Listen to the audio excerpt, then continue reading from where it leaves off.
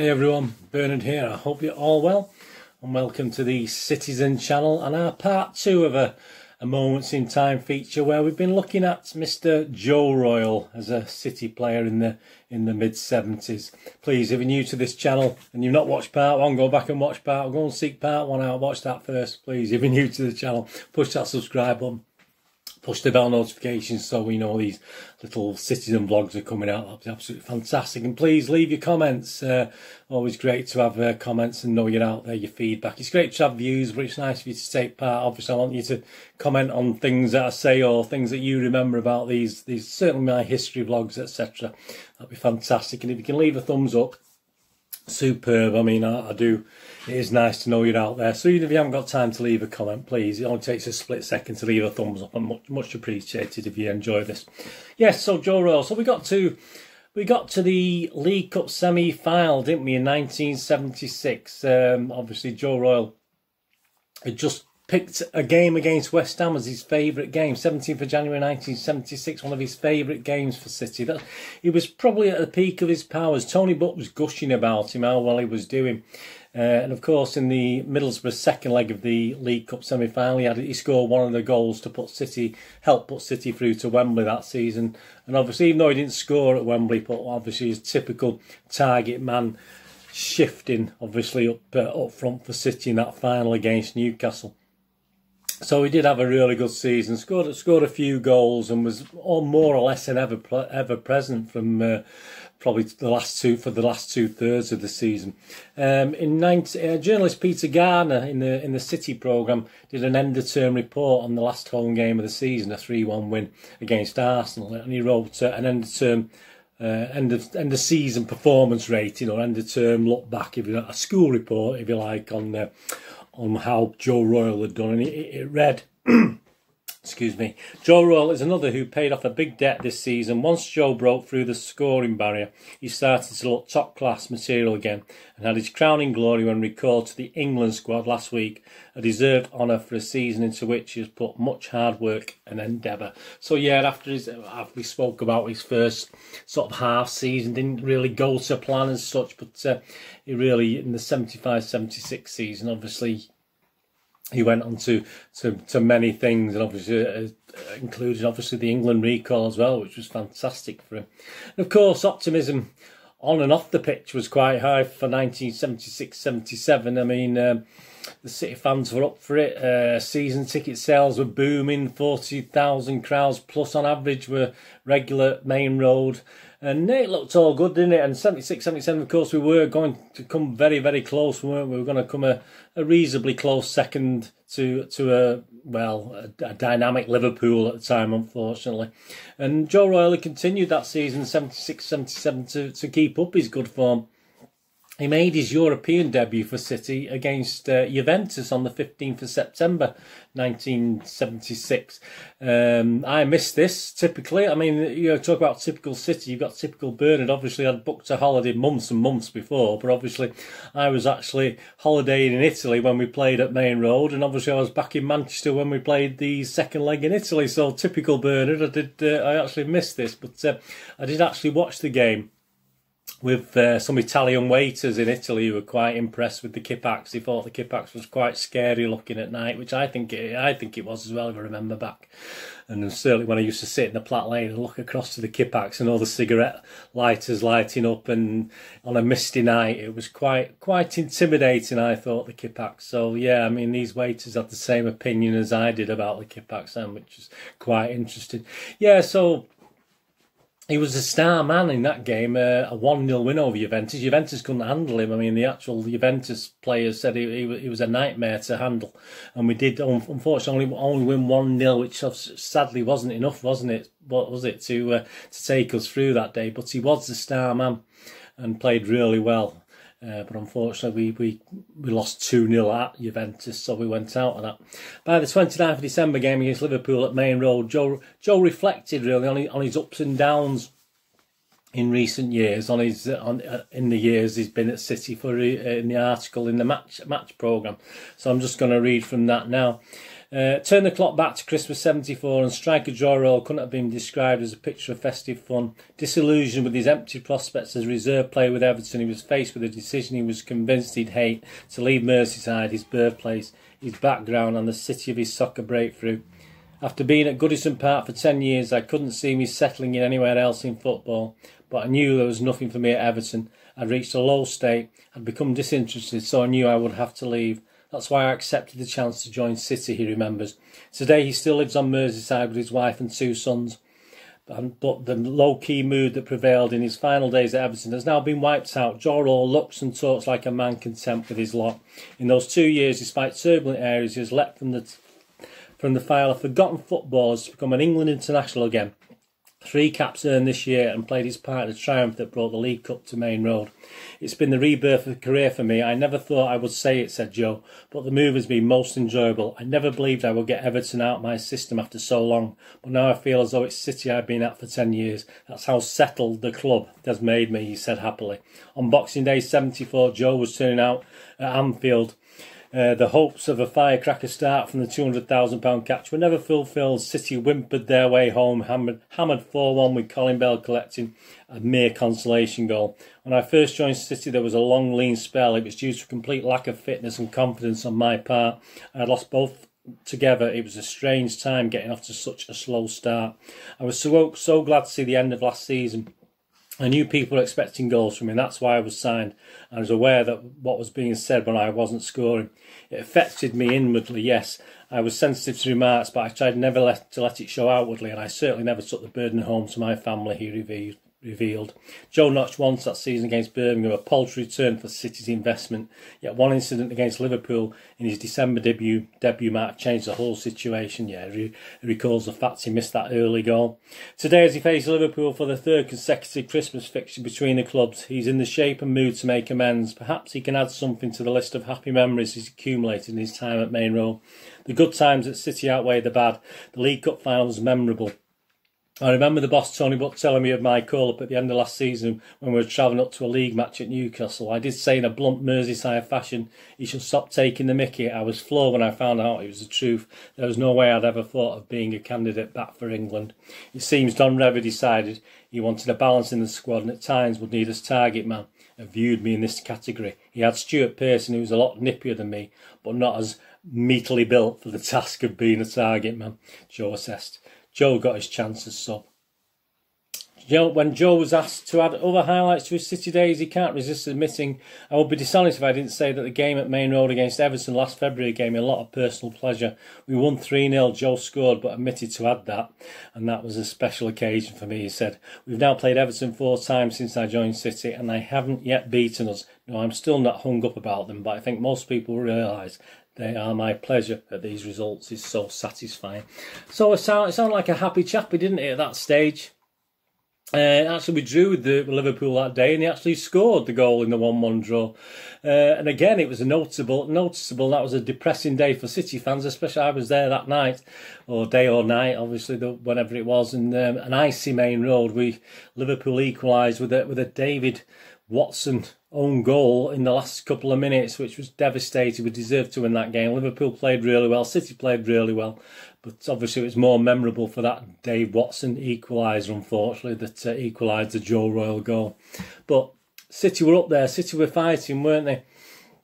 Uh, his goal against United on the 6th of March 1977 was just a consolation goal. It dented our title hopes that season. We were doing really well, but to go to Old Trafford and get beat at a time when we, we had a good record against United was quite depressing. Um, so the cracks, just a little bit uh, with the team, obviously that season, were a little bit was beginning to show. and didn't quite manage to overhaul Liverpool, unfortunately, and perhaps the, the cracks in Joe was showing as well. He didn't, I say, he didn't score after that game from March 1977, so things were a bit a bit dodgy before the 77-78 season. So he'd hit this peak, he'd hit this peak mid-season, but obviously it start the goals dried up again. Was there a problem? Uh, financial cracks were also showing for City before the 77-78 season. And um, Swales had always tried to invest and perhaps, but you know, decisions about player purchases, etc., and wages, it we'd always struggle. So there's a bit crack, a bit, a few cracks were showing financially as well, and some young players were being shown the door. We were, I think we got rid of our B team. We did have an A and B team uh, to save costs. We got rid of the B team. So obviously, you think obviously they're gonna take a look at some of the players' wages, and Joe Royle, no doubt, was on one of the was one of the best players at the time. So obviously that was going to come in, going to be looked at, wasn't it, at some stage?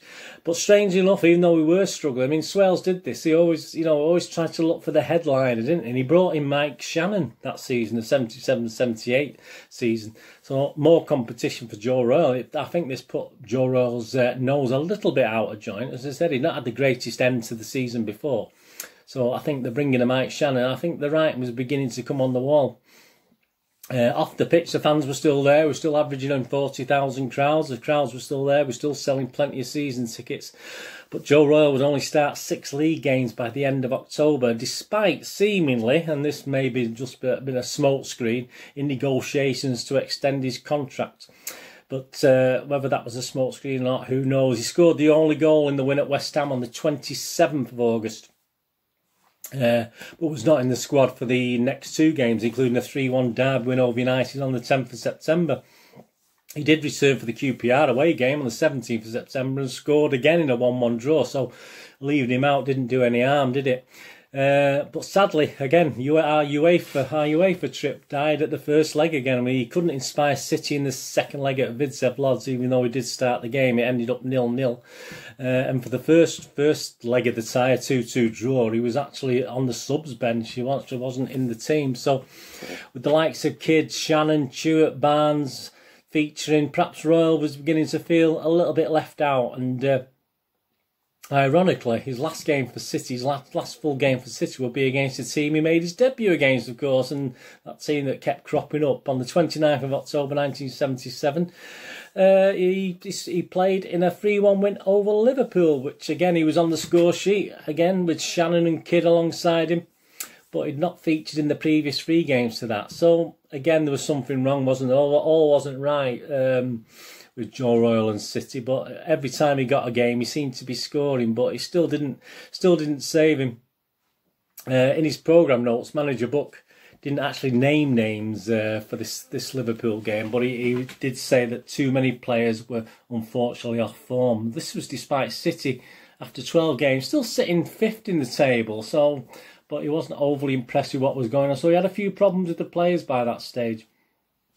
And by November, with uh, Tony Book citing limited opportunities, um, he put uh, Joe Royle on the transfer list. Uh, Tueart was already on it at that, that, stage as well. Dennis Tueart was on the transfer list, and uh, uh, Joe Royle joined him. Uh, certainly, was no extension for him, was there, on that on that basis?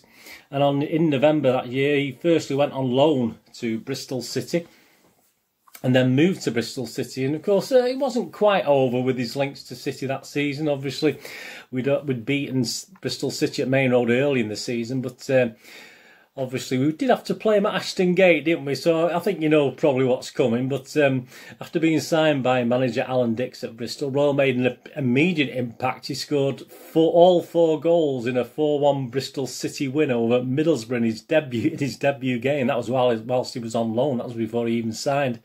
Uh, but sadly, this did increase the pressure. I mean, he did, did, comment about this, and obviously the expectations from the Bristol City fans were, were massive after that. I mean, you score four on your debut. I mean, you score one on you know City's debut, but uh, you know to score four to score four on a debut would be absolutely tremendous.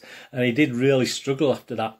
But obviously, by the time City visited on the 17th of February 1978, there was a crowd of just over 25,834. I was I was there that day. Um, yeah, it was a 2-2 draw. So obviously with Kidd and Booth scoring for City, but you, you could have guessed it, couldn't you? And obviously the two goals for Bristol City were both scored, of course, by Joe Royle. He'd actually scored a couple in the three games previous to that. So he'd had gone back on the scene after a bit of a, a bit of a lull after his four goal debut. He actually uh, he'd gone a few games without scoring, but he'd started to score again before he met City. But Tony Book made some comments in the City programme on the 25th of February 1978, a home game against Everton, uh, about the game and Joe Royle. He said the team were magnificent at Ashton Gate, two goals down in the opening six minutes. Yeah, Joe scored two. He said he could have done an hat trick, really, couldn't he, Joe? But uh, he must have eased off after six minutes. Yeah, City was two 2 0 down after six minutes. They showed tremendous resilience and were full value for the 2 2 finish. We are rarely caught out in the manner we were at Bristol. Joe Royle delighted in doing the damage against us, which is natural for a player appearing against his old club. Yeah, I mean, again, there you go. I mean, as in Francis Lee was delighted when he scored against us. Obviously, Joe Royle was obviously delighted when he scored he scored against us as well. There's, there's no sort of holding your head and not celebrating in those days.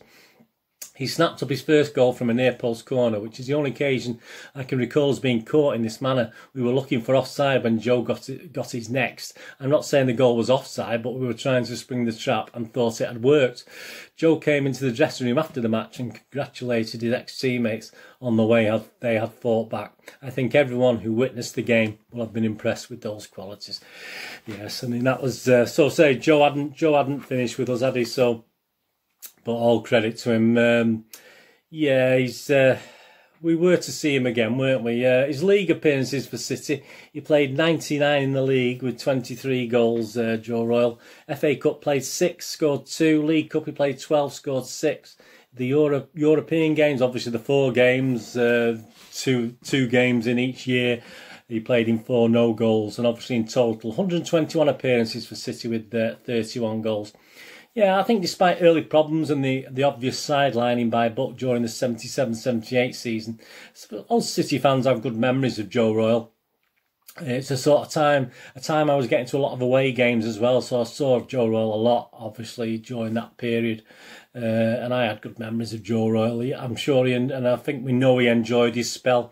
And of course, he was more than happy to come back many years later. Was it almost 20 years later to become our manager again and have, have some more wonderful memories and moments. But that's another moment in time, isn't it, when he came back as a manager. But uh, that's Mr. Joseph Royle. So thank you for joining me for this Moments in Time special, this part two of the Joe Royle special. As a player for Manchester City, I say, was we'll touch upon the manager perhaps in, a, in another moments in time. Please check my links on screen, and if you follow or friend me on Facebook and Twitter, I do check every couple of days and follow friend everyone, follow and friend everyone back on there. And if you check my playlist, I do stuff on movies and TV dramas and little quizzes, etc. So if you're into that sort of thing or have an interest in that, please check those out as well. And or, or if you've got any friends or relatives who are interested in movies and TV, please point them in my direction. That'd be very much appreciated. And my little day job, I have a website, moviegamenostalgia.com for old rare DVDs, movie posters from the 1990s and 2000s, and board games on there as well. So if you can check that out, I'd be very, very much appreciated. Anyway, thanks for watching. Hope you enjoyed that. Let me know in the comments. There any any special memories you have of Joe um, his time as a player at City? And please, uh, all I can ask is whatever you're going to do with the rest of the day, have a great one. Look after yourselves, look after your friends, look after your families. More importantly, let's all look after each other. Until we meet again here on the Citizen channel with a City Pastor present, please stay safe, Blues. We're saying goodbye for now. Thanks for watching.